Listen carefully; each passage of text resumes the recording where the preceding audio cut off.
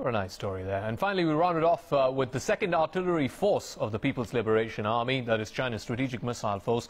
They've been trying to modernize their troops for the past decade or so. It was founded back in the 1950s, and after more than half a century, it's now developed into a force with advanced technologies, high adaptability, and comprehensive tactics, as our Sinan found out. Exercising under complex electromagnetic environment, all the participating units are equipped with actual combat weapons, simulating a fast take on the missile launching site, then carry out the launching process.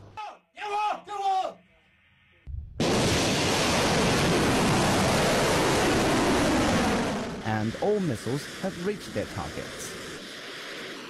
我们紧紧围绕提升千疆域 To enhance the all-round capacity of the forces, we have been carrying out exercises in different areas and under extreme weathers and complex environments.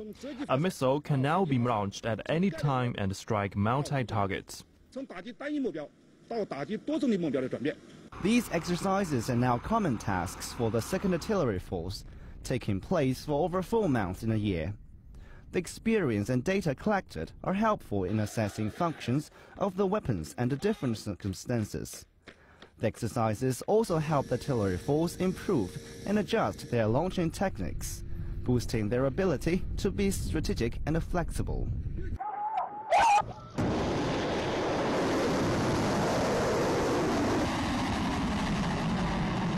Meanwhile, the successful development of the automated missile testing system has elevated China to world advanced ranking.